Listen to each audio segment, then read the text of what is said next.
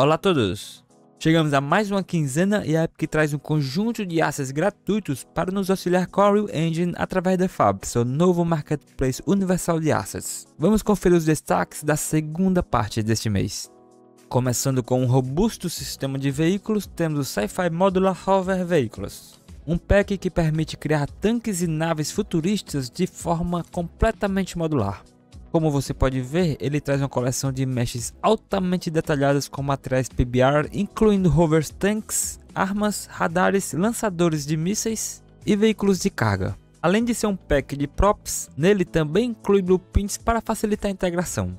Você pode configurar componentes de flutuação, definir trajetórias automáticas e até ajustar armas que rotacionam sozinhas.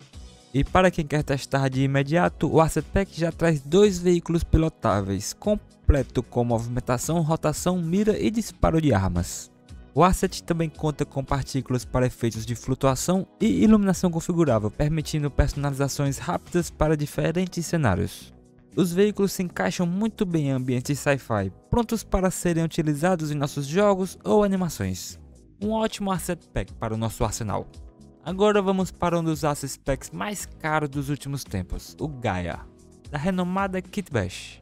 O pack nos traz uma coleção de estruturas arquitetônicas orgânicas, combinando materiais naturais e geometrias complexas com influências ocidentais e orientais.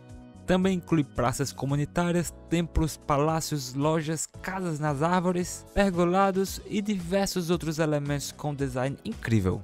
A grande vantagem desse Asset Pack é a modularidade e o nível de detalhe. Cada estrutura pode ser personalizada com torres de comunicação, silos, toldos e outros adereços permitindo desde aldeias humildes até fortalezas subterrâneas.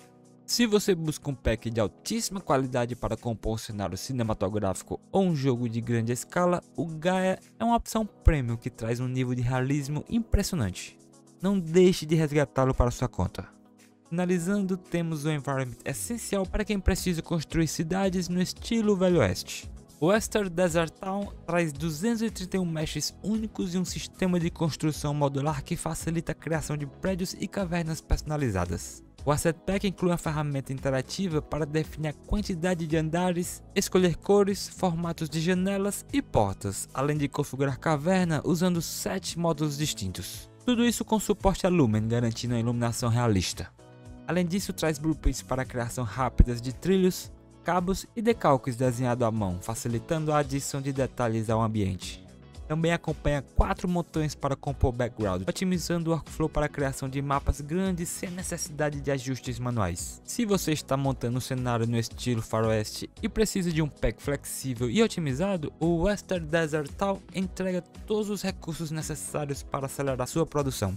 Para baixar esses três assets gratuitos, basta acessar o site da Fab Marketplace, desça um pouco a página e encontre os três packs que mostrei anteriormente. É só clicar para comprar e depois adicionar o seu projeto pelo launch da Epic Games. Como indicado pela própria Epic, temos até o dia 25 de março para adicionarmos esses assets à nossa biblioteca. Não deixe de adquiri-los, eles podem ser bastante úteis futuramente. Muito obrigado pelo apoio e até a próxima. Valeu! you.